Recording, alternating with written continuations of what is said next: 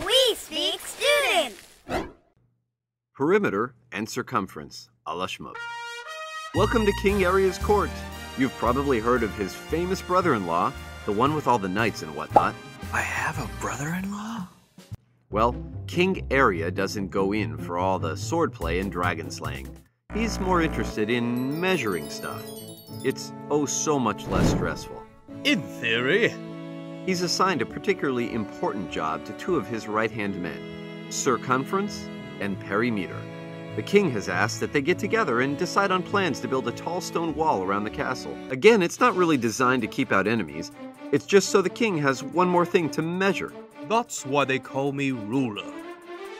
Of course, circumference and meter can't agree on how the wall should be built. Circumference thinks the wall should be circular in design. Perimeter envisions a unique polygon shape. Cumference argues that his wall would be more fun to measure.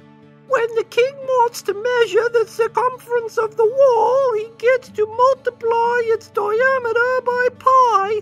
What's more fun than pi? Cumference demonstrates on the castle whiteboard. The distance from one end of the wall to the exact opposite point is the diameter.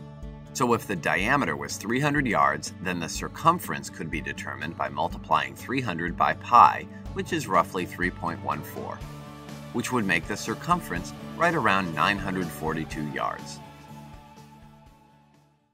But a circle is so boring. Two seconds and he's done. With my wall, the king can while away an entire afternoon, walking around the perimeter and measuring each side, then adding them all together. Meter wipes clean the whiteboard and presents his own case.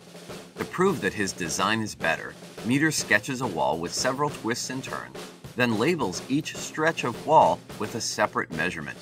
He adds them up 220 plus 145 plus 80 plus 155 plus 215 plus 50 plus 85 plus 250 equals 1,200 yards. The men kept at each other's throats for the remainder of the afternoon. They never did come to a decision. However, the king wasn't upset that his wall wasn't getting built. In fact, it had sort of been his plan all along.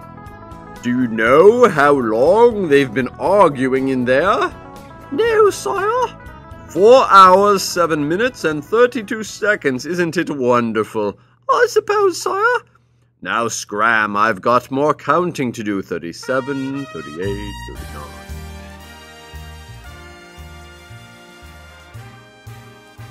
I have a brother-in-law? Subscribe to check out more equally fantabulous videos.